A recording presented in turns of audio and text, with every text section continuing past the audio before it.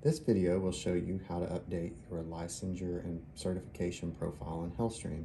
Once you've logged into HealthStream, go to the Profile section, scroll down on your Profile section, and under Licensure and Certification, you can update and or manage your licensure information. To update your license, you can manage if there is one existing if you need to add a license, simply click Add. This will open a window for you to add the licensure information and you can attach a copy of your licensure information in this same window.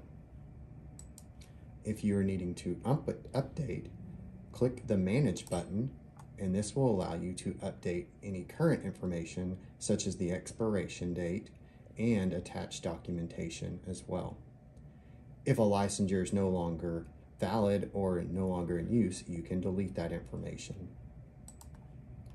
Any professional certifications you hold, you can also add or manage in this same area. This will allow HealthStream to reflect the correct information. If you've received any type of notification that your licensure or certification is expired in HealthStream, you will need to go in and manually update this information as it it is not auto-populated. Thank you.